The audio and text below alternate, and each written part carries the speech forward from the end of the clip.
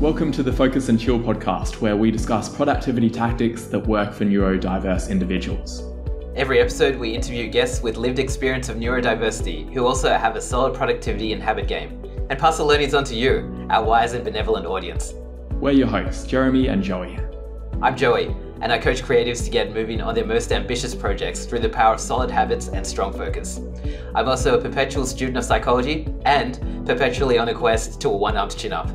And I'm Jeremy. I'm a neurodiverse software developer turned startup founder building habit and focus software for people with ADHD. My cool party trick is leaving parties early so I get to sleep on time to do my three hour long morning routine.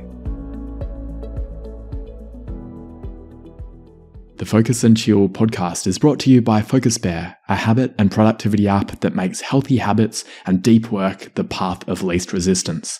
If you have a tendency to check emails or scroll through Instagram first thing in the morning, but long to develop a meditation and exercise habit first thing, Focus Bear can help you. The app blocks distractions on all your devices and guides you through your habits one at a time. Throughout the day, Focus Bear assists you to stay in deep work by blocking websites and apps that are unrelated to your chosen focus mode. Life's not all about work though. You'll be prompted to take regular breaks to rest your eyes and stretch your muscles. At the end of the day, Focus Bear helps you switch off. Work related apps get hidden so you can unwind and sleep well.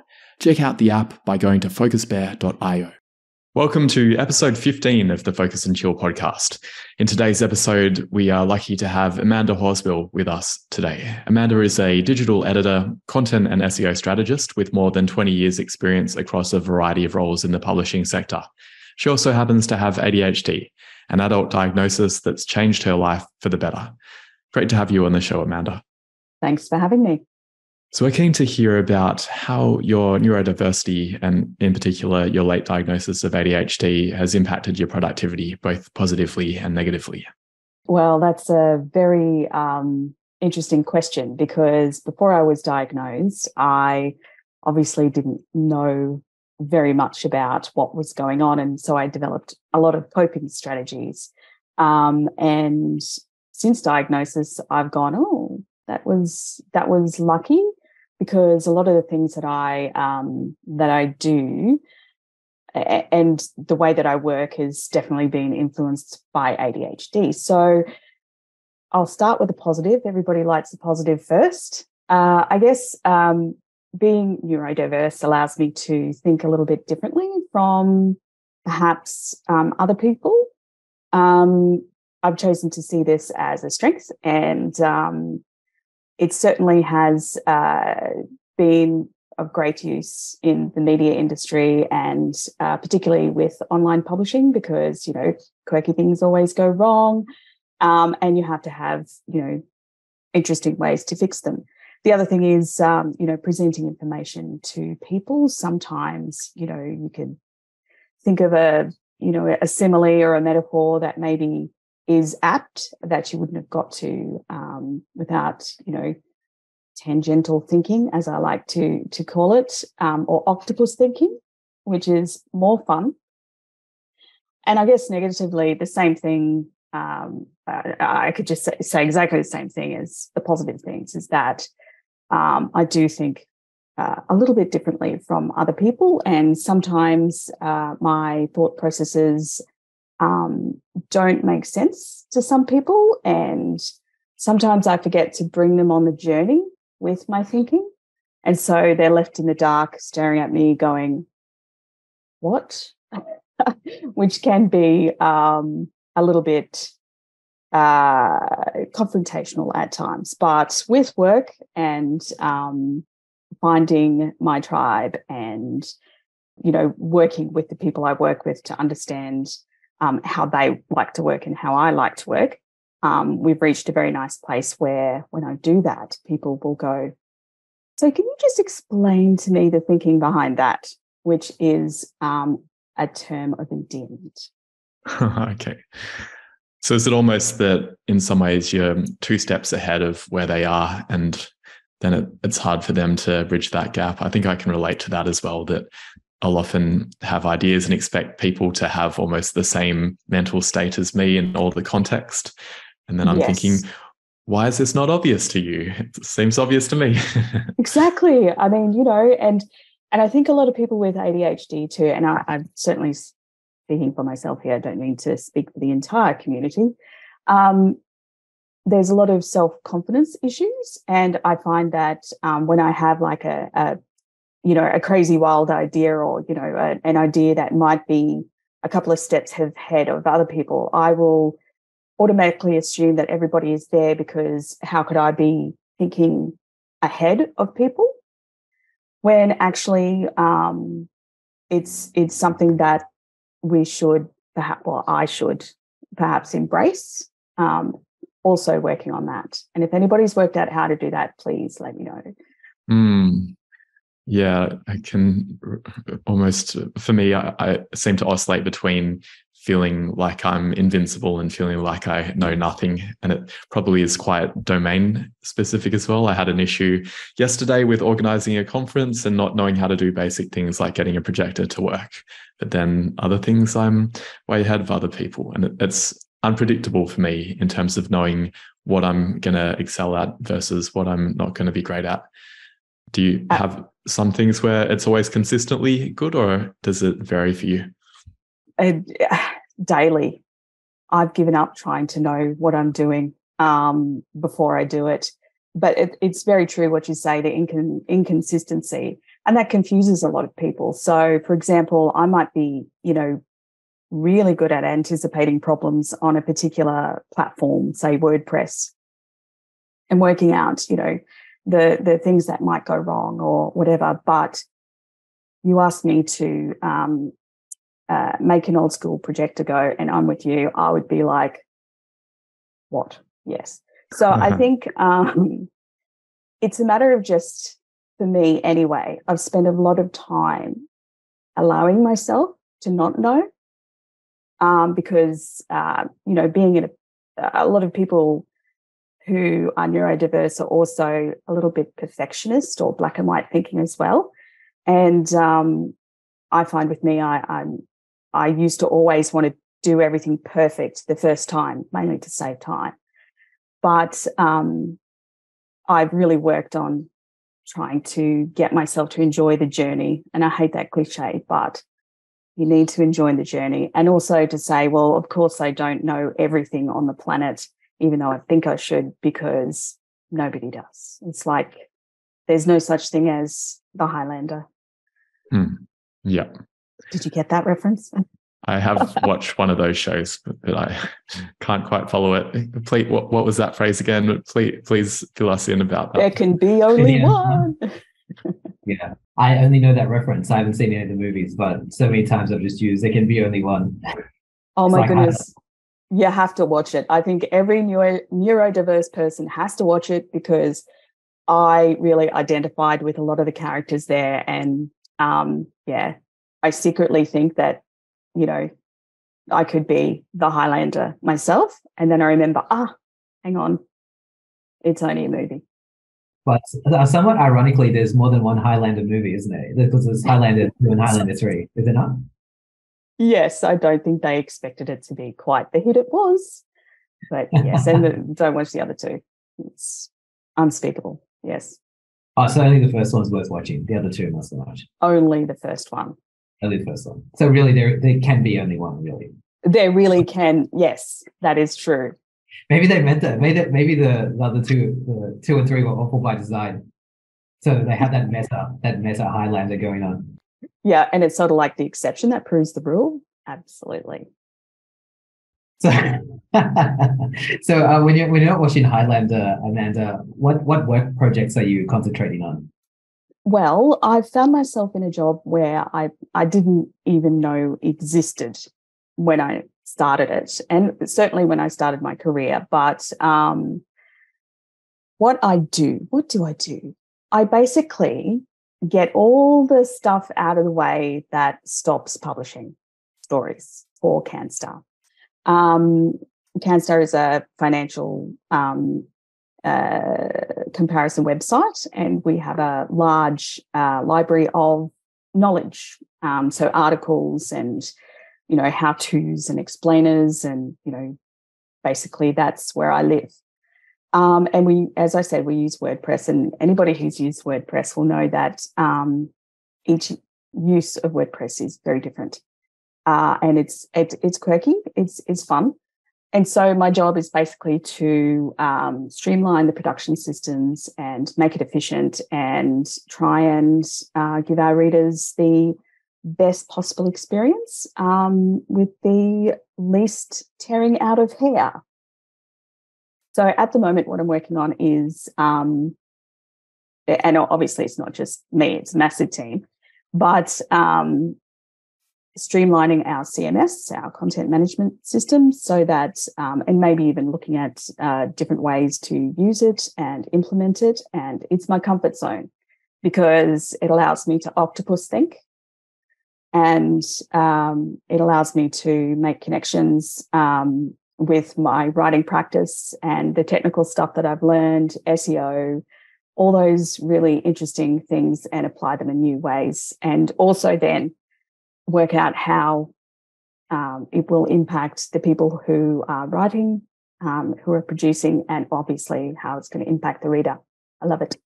That, that sounds really interesting. And one thing I wanted to ask you about was um, the idea of octopus thinking, because octopus, octopi are amazing creatures, and yes. in order to be uh, able to think like them, I would, I would love any tips or tricks. So please, please go on.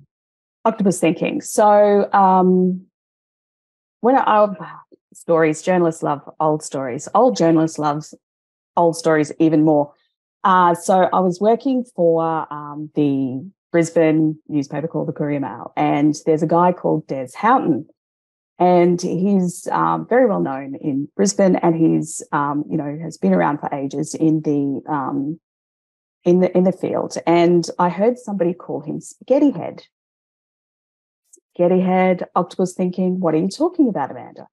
So um, he basically did that, and you could see him do it. You could see that he would just put out like tentacles from his mind and I mean, you know, agree or disagree with his politics or the way he writes or who he wrote for or whatever, but the way he thought, uh, he thinks is amazing. He's like, you could just see these tentacles going.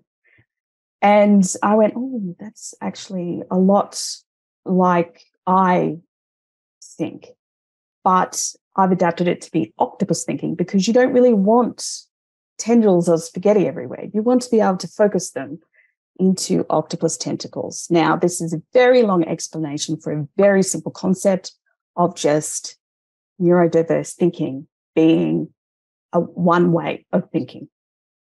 And so, octopus thinking is about putting out tentacles into the world and just letting them go. And, you know, they've got little suckers on the bottom of them.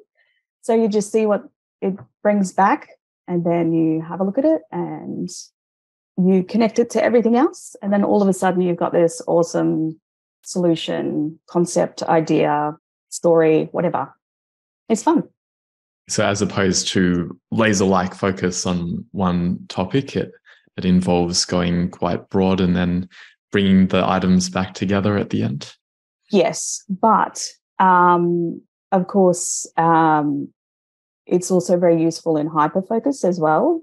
So hmm. um, if I want to solve a really broad problem with a lot of moving parts, I'll go out that way.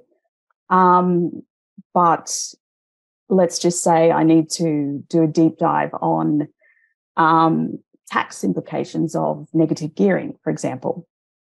I, I don't know anything about that. Well, I didn't.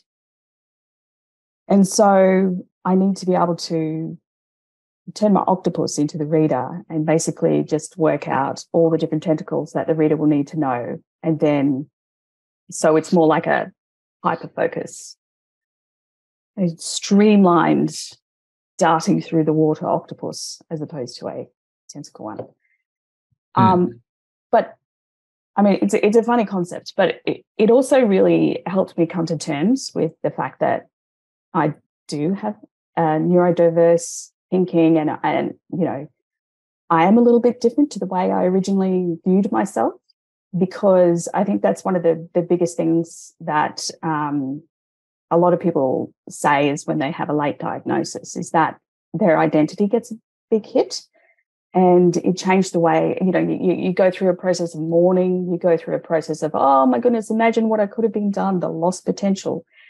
Um, and finding these kind of concepts to describe myself and the way that i am makes it feel less scary and more useful rather than something that i have to cope with.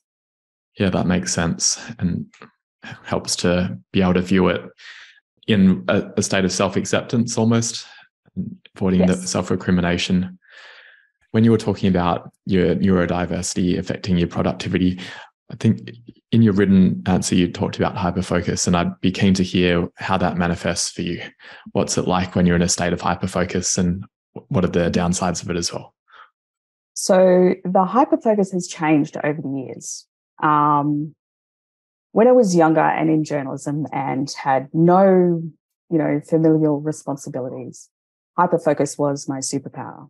So I would work long hours. I would work um, very intensely, very deeply, you know, sitting at a computer terminal, you know, for hours on end, um, trying to achieve a deadline or put out a paper or you know, publish a story or contact people or whatever. And that was really quite um, good for me early on in my career. But as you uh, collect things over time, like family and relationships and, you know, debt and houses and dogs and cats and whatever, um, hyperfocus becomes uh, less realistic. Well, the hyperfocus that I used to do.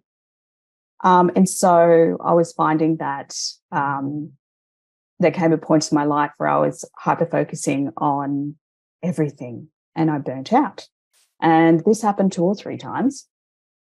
And so as I've gotten older, I've learned to um, hyper focus more productively and to notice when I'm hyper focusing and trying to con- control it and channel it the best way I can diagnosis obviously helped a lot with that because um, uh, medication helps a lot and uh, you know therapy uh, helps a lot but um, i think i'm a more rounded person now. Don't get me wrong i still hyperfocus. I hyperfocus on the wrong things a lot of the time. For example netflix binge watching but i do it at times when i can rather than times that i feel compelled to um, and then now I find I can channel my hyperfocus on um, productive tasks at work and um, I can just manage it more and direct it more, um, which is much healthier. Mm, yeah, it would be great to hear more about how you channel it. But let's move on to our next question about what you do in your off time. You spoke about various movies that you enjoy. What else? And you've got a dog and a family. What do you get up to in, when you're not working? Job, family, dog. Doesn't leave much time for recreational pursuits. Um, so I have um, uh, a neurodiverse family. Uh, my son is autistic and also has ADHD. He's um, he's like level two autistic is is his formal diagnosis. So he has a bit of an invisible um, disability most of the time, um, and then it really comes out when he's stressed, and he's uh, eleven. Uh, so that's a very interesting time in any child's life, let alone uh, an autistic ADHD child. And um, he's such a oh, everything I thought I knew about autism, all the stereotypes, chuck them out the window because there's no such thing he is uh, caring, empathetic. He's he's artistic. He's um, he's an introvert. He loves drawing, whatever. Um, but yeah, he's he's on the spectrum. He's got communication issues, so it mainly manifests in social anxiety, and um, that obviously impacts our life a lot, um, particularly having a neurodiverse mother.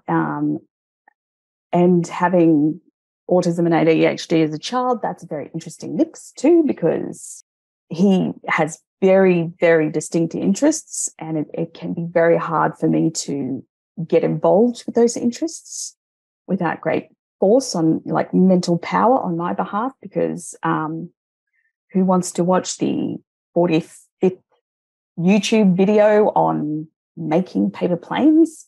You know, so um, that's a challenge. Um, my daughter also is um, somewhat neurodiverse. Um, she's started uni, so she loves it. Um, and hers was a very late diagnosis, and all of our diagnoses happened at the same time that my son was diagnosed with autism. And it's very common in families for, especially, you know, with parents who grew up in the 70s, 80s, and 90s, for parents to look at their child's, you know, screening tests and go, oh, oh, that's mm, that's me.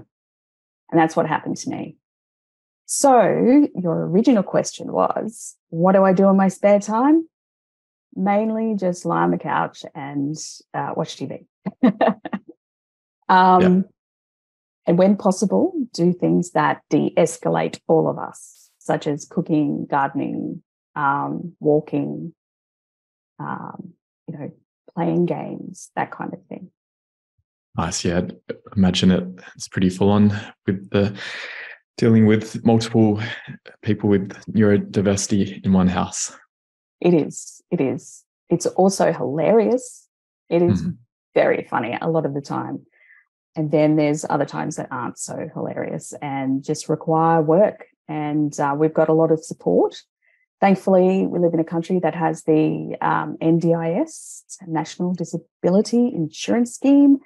Um, and we, well, I mean, we've had an amazing experience with, with that because it allows um, my son to have like a support and um, you know i don't i don't know how to support an autistic child like i had to learn we all had to learn. My husband had to learn. Um, his sister had to learn. Um, so we get all the help we can because we are not subject experts. And that's really helped. Definitely. Uh, I'm curious to know about uh, what your morning routine looks like and how's that evolved over time? Uh, is more like smashing the snooze button a, a, few hundred times um, and that's because my husband's, um, we, we divide and conquer. Uh, and that's the only way to to survive. And um, single parent households, I wow, I admire them so much because wow. Um, so um, my morning routine is I wake up, I go downstairs and help my um, son get ready for school and, you know, make sure everything's emotionally stable down there. And then I will use my morning routine as in, you know, getting ready and everything to calm myself and get ready for the day. Um, I, I mainly start work at home between 8 and 8.30, which um, depending on how what my my state of mind is at the time. And then I go to work two days a week because CanStar's awesome. And I catch the train. Uh, and I find that um, the biggest shock for me when COVID happens was I didn't realize how much I was using those in between times in the commute to transition to a new environment. Um, that's one of my big problems with ADHD is that it just takes a little bit for my brain to kind of arrive, sort of like my body arrives, and then like I don't know, half an hour later, my brain will walk in the door, um, which can be frustrating for you know husband and children who you know need me to do stuff or you know need me to look at their drawing of this awesome truck or whatever. So I find that I use the commute time to transition. Working from home, very difficult to do that. And um, I'm, I've actually been struggling a lot with that. But um, I've just started a system where I book in my diary every morning, uh, 15 to 30 minutes, um, which is just basically get ready for the daytime. And it's just where I focus and center might get a cup of tea, um, and just, you know, make sure that I'm present wherever I am. Because otherwise, if I don't start that way during the day, my mind is still at the last place and I can't give my full attention to wherever I am. Yeah, that sounds really important. I have to do something similar as well to get myself into the work groove. Yes. Especially if there's been some things that you've had to do to, to help your son in the morning that might be hard to detach at times. Do you find, is it, you were saying that working from home is more difficult. Is that the reason that you don't have that transition time with the commute? And so you have to create an artificial transition? Yes, absolutely. And also, um, I have a long history of being a bit lackadaisical when it comes to um, household tasks. And um, I have rehabilitated myself. And but the, the problem is that there's a lot of guilt involved. I carry a lot of guilt um, from, uh, you know, it's just programmed um, into, into me. So I'll be sitting here, and if the environment around me is messy or the house is messy or whatever, um, it doesn't feel right. And so it's it's very hard for me to compartmentalize and say it's okay that you know the kitchen looks like a trash can. I've got to work now. I struggle to do that because um, uh, my environment is very important to me. So um, that makes it hard. The other thing that is hard is um, when there's other people in the house. So what I do for work is very um, can be very intense, very you know deep thinking, and um, when you have to get out of that deep thinking and swim up to the surface, and then just like think normally, the energy that is involved in swimming up and down it can be exhausting. And so I don't know if anybody else does this, but I do this. I often try and hold my attention at the spot where I was while I'm talking to somebody else. It seems like I'm not interested. Um, it seems like I'm, you know, am not there for them or whatever, or I'm being rude. Um, just that I don't have to swim up and down and waste all my energy, right? Mm. It's just efficient, right? Mm-hmm. That's fine with work people, but you can't do that to your family. That's just like rude, you know. And my work people get it. You know, they they you know they know how I work. But how do you explain to an 11 year old that yes, you're the most important person in my life, but I'm thinking about how to um, code this table right now, and if I lose my train of thought, I will have to spend 30 minutes trying to get back into that headspace. So um, you know, it's the juggle. Every parent, every person, I think, gets the juggle. Um, it's just a little extra hard when it involves working from home, neurodiversity, neurodiverse kids, and a dog. Mm. Is your son at home a lot of the week? He's not. He he's at school, which is great. Mm. Um, and because uh, you know he's he's quite bright and everything. It's just um, uh, got social behavioral issues. But the worst time, and and if anybody is listening out there who works with working mothers and fathers who have children that come home at three o'clock, and then like you can just see that if you're in a meeting or something, their energy changes. This is why. um, mm. Because it's it's really it's you know they come home at three and you know kids don't get boundaries and you know mummy's not available for you at the moment um, it's very hard to you know compartmentalize in that way as well yeah so at least when i'm at work it's only the one train compartment that i have to be in yeah i don't have children but even sometimes if uh, my wife often works with at home as well and I mean, she's generally respectful of if I'm in a meeting, she's not going to come in. But that experience of of having very deep focus, which can be quite elusive for me, and I, am curious about for you. You're talking about channeling hyper focus. For me, it, it's quite precious when I'm able to get into that state. And it's, I almost feel annoyed at people if they interrupt me during that point. Totally. totally. I, I, um, am seeming to use a lot of animal and like metaphors at the moment. But anyway, it's like a tick, you know, if you burrow down deep, you don't want to get removed. Um, You're describing so, yourself as a tick. Interesting. I know. Uh, octopuses uh, are cute, not so sure about ticks. Yeah, okay. I'll have to work on that metaphor. um, to be honest, I don't actually know when I like the moment I started be able to be able to do this. And sometimes I can't do it. Like if something's like dead set boring, there is like no way that I can that I can get there. Um, so I guess the, the, the way that I start is um, I'll prepare my space, prepare my my mental and physical space to work on a big project, um, and then I'll have my you know attention props.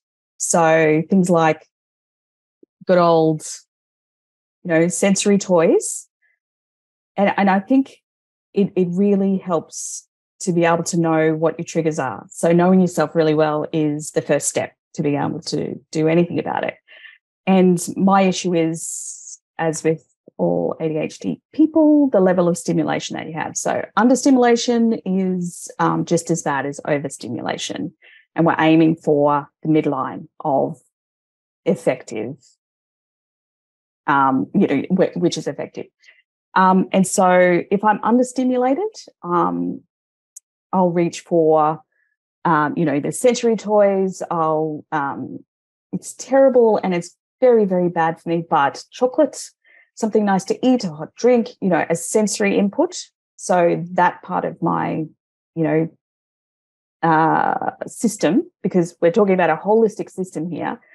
Um, and that's the thing about a lot of ADHD people is that it's the ability to regulate our systems that can cause us the most problems.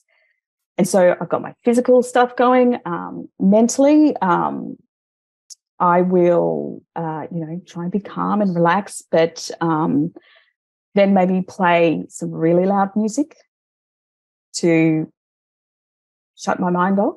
Okay. What type of um, music? Yep. So this is under stimulation.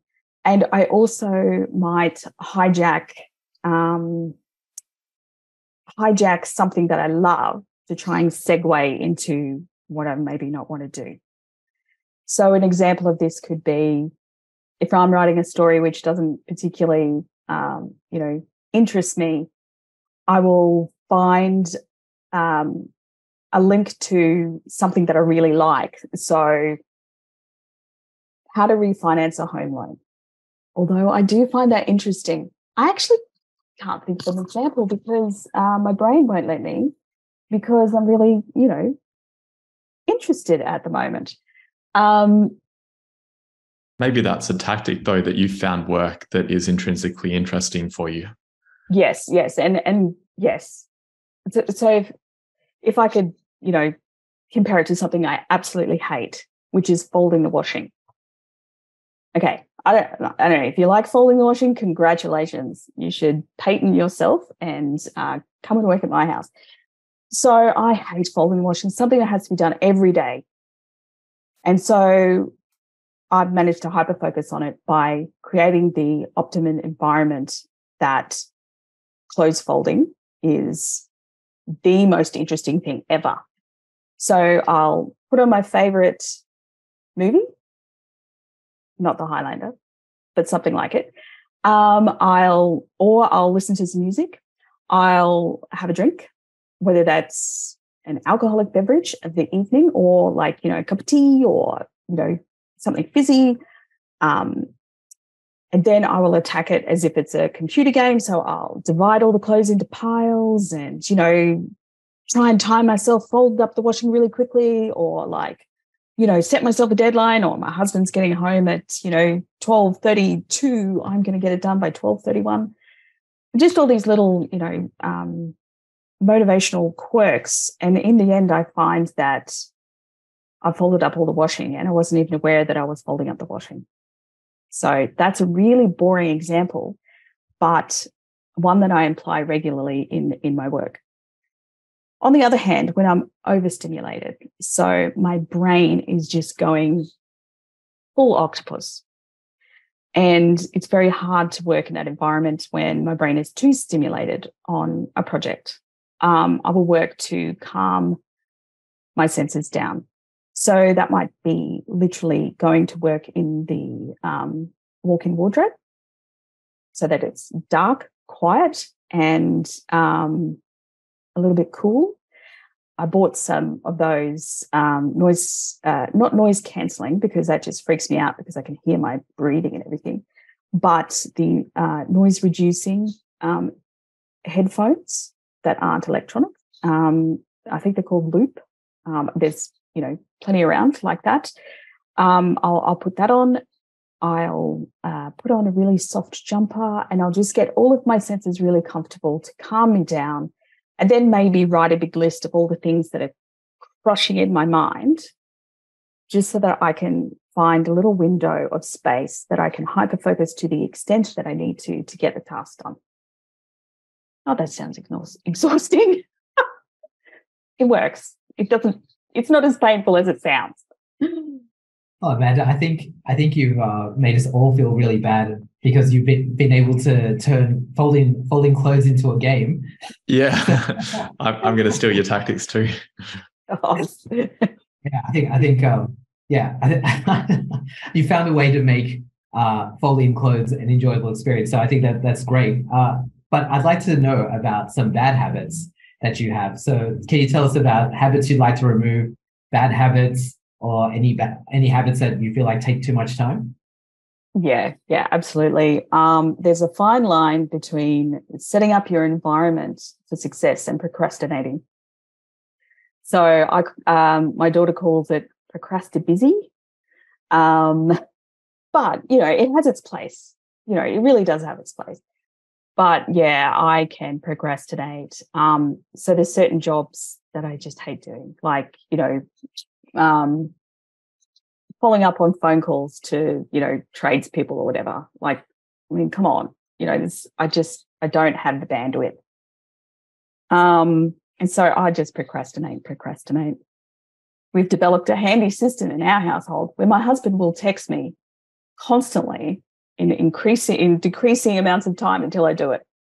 Uh, he's the most patient man in the universe, I swear. No, and honestly, it works because, um, and I've asked him to. It's not as if he's, you know, bowel beating me, beating me or anything, but I legitimately forget. So, um, how is that a bad habit? Oh yeah, I would like to stop procrastinating. Um, also, um, I'd like to stop making up for my um, dopamine deficit by eating chocolate and just eating like um or or numbing or whatever that doesn't actually work like all these things that i used to do back before i knew what was going on to try and cope actually don't help so i would like to try and reprogram myself and remove a few of those habits the other habit i would like to drop is talking so much about things I like to talk about. Well, yeah. It, on this show, that is more than okay. I can relate to that some things really leaving them into the last minute and requiring a lot of prompting from my wife to get them done. Yes. I almost wondered with your husband sending all those text messages, do you ever feel like how about he just does it instead of sending the text messages? Yeah, I do. I really do. Huh. But, but I understand, like, he carries a large load himself. And it's also a way that he kind of expresses love as well, because he cares enough to help me do it rather than do it for me. Mm. Yeah. At, at some point, I'll just do it and, you know, whatever. But sometimes it's also becomes a game because I don't want mm. to do it. Mm. I'll see how many text messages he can send me. Bad. okay. Does he do increasing intensities of emojis as well?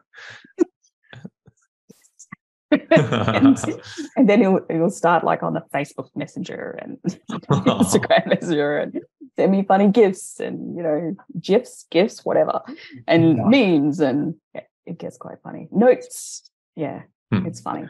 Humor solves the world's problems. Hmm. I've got some flights to book. I might suggest my wife does that for me. Now, yes. Speaking of landing flights, how do you switch off at night and, and land your consciousness into the, the nestle of your bed? What's your wind down routine? Um, okay, so I've often found it quite difficult to wind down. In fact, I've gone, particularly previous to diagnosis, I, I went a lot of time without sleep, and that's really bad. Um, because it just unbalances everything. It's not good. So I try and guard my sleep as much as I can. Now, so my nighttime routine um, consists of really strict compartmentalization for finishing work.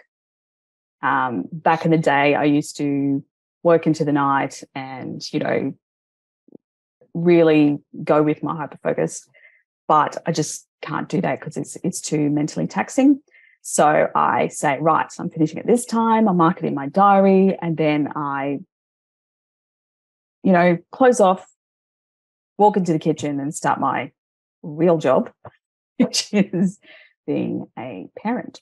And then, you know, there's the whole family nighttime routine where there's, you know, like homework and dishes and cooking and talking and whatever. And then there, there there comes a point in the night where like the energy changes of the house and everybody kind of goes ah and the house itself just about size. um, and usually that time is when um, you know the dishes are done. At the moment it's when maths is on it's about to start. And then we sit down as a family and try and have some you know human relation contact um, for you know at least 10 minutes 20 minutes. Um, we try and have dinner together too which is really great. Increasingly difficult with a 18 year old daughter. Anyway and then we um, you know kids go off to bed or the nightclub or whatever and then um, you know my husband and i have some time to talk and maybe we'll watch some tv but at that stage we're just like you know hammered, so really tired. So we might fall asleep on the couch. But um, um, my son has a bedtime routine, which is very important for him too. So, um, being a, an autistic child, routine is very important. And so we take him up to his room, um, you know, get him ready, and then he listens to an audiobook. Um, I might lie with him in, you know, and you know, sit with him, and we'll you know, answers answer the universe's greatest questions, which is really hard to do after a full day of work at like eight o'clock at night when your child asks you, Do you believe in God? And does the universe have an edge? And the appropriate answer is not, I'll just Google that. So I've been using that as my calm down routine as well. Um, but yeah, just a gentle wind down. And then I'm very guarded. Like I set, you know, I go to sleep between 10 and 10:30. That's it. Um, and then I wake up between 6:30 and 7. Um, and if I stray outside those parameters, that's when things get hairy. That sounds like a, an excellent way to wind down, to have some time for preparing everything for the next day some time with the family, and then a good amount of sleep as well. Yes. Yes. I would like to fit in exercise and, uh, you know, some other me time things, but yeah, right. Yeah, Amanda, I would like to talk to you a bit more about um, Highlander. No, just kidding. I would like, I would like to, like you mentioned that as a as a great resource for for neuro neurodiverse people to to um, to take a look at. But I, I was also wondering, are there any other resources like books, philosophies, or apps that you find most helpful in productivity and habit formation? Uh, yes. So all the golden greats. Um, so I use my Google Calendar and Apple Calendar uh, like it is water. If I didn't have those, I would drown. Hoping to transition to Trello uh, soon, just so that I can have it in an app um, that just one app because because I need a calendar that's not only work, I need a family calendar and a you know there's so many different calendars. And time is an issue for me so if i didn't have that um, calendar i just i turn up at birthday parties when they finish and not when they start. So many times. Um, okay so there's there's that um, what else do i use um, i listen to a lot of podcasts um, uh, particularly meditation podcasts lately when my mind is uh, racing that's something that um, that really helps, particularly sleep meditation. Uh, if I'm away, I'll listen to um, various sleep. Uh, some are better than others, though, and some like creepy, and some are nice. So it takes a while. I really love Alain de Botton. Hope I'm saying his name right because you know when you read a name and you don't know whether or not he's saying it right. Anyway, um, he wrote a book called Consolations of Philosophy, and it's like you know the most read book um, by me in this house.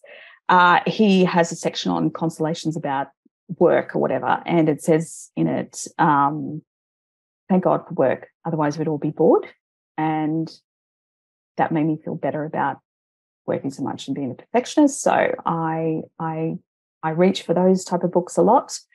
And Adam Grant, who's an organizational psychologist, uh, he's got some great um, content, including a wonderful, everybody knows it, work life um, podcast, uh, where he talks about organizational psychology, believe it or not, and, um, you know, good and bad, and how you can hack it to, to make it work for you. The only other thing that I use, it's neither an app, a philosophy, or a uh, what was the third thing? Anyway, whatever it was, uh, is therapy. Um, I have a very, very good uh, therapist who I've been seeing for ages who has experience in new, neurodiversity. Um, and she just helps me decompress and um, form strategies for coping with um, the neurodivergent life. That sounds like a really good collection. And I would be keen to also know about the sensory toys as well. That should be another category too. Have you got one that's a squishy one? And yes. So I have a squishy one, squishy mm. one. Uh, I, these are actually my son's, and I use them when he's at school, but don't tell him because he will get cranky. Uh, so there's a squishy one I love.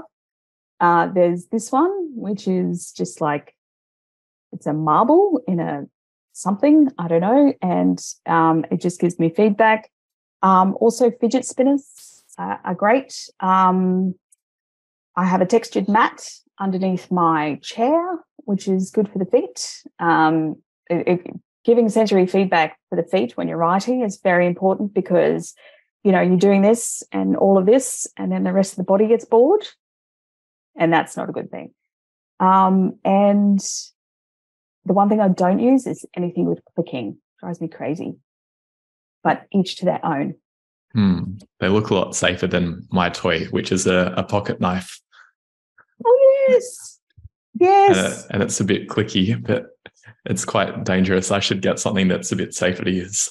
Well, let me see. There are. Look at this. Like this one is like all clicks I hate it. My son, he loves it. So, yes, please do. Each their own. Right. Okay. And final two questions Where can people connect with you or find your work? Okay. So, um, Canstar, uh, financial comparison website, canstar.com.au. Um, I also wrote, uh, was, wrote a chapter in a book called uh, Letter to My 10 Year Old Self, which is available online uh, through Amazon, I believe.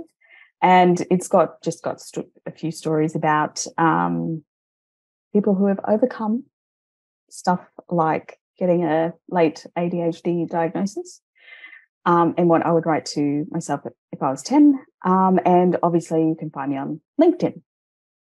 Beautiful. We'll include your LinkedIn link in the show notes. It's been wonderful having you on, Amanda. Do you have any final words to ask of our audience? Just be kind to yourself, I think.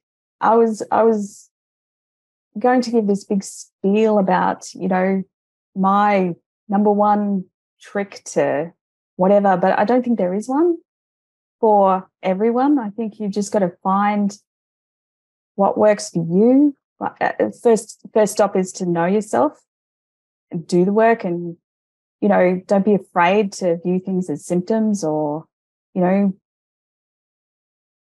things about you and just it's okay to be an octopus or a spaghetti head or a tick. you know a tick whatever you want to be um, just be yourself because um, you know we definitely do contribute to society and you know i can't wait until the world realizes you know that people like us have amazing skills to contribute and um, i think we're three quarters of the way there um, yeah just be kind to yourself wonderful and we'll wrap the show with that Thanks for tuning in to this episode of the Focus and Chill podcast. To listen to other episodes, jump onto podcast.focusbear.io. If you'd like to be a guest on the show or you know someone who'd be a good fit, email us at team at focusbear.io. Otherwise, stay focused, stay chilled, and peace out.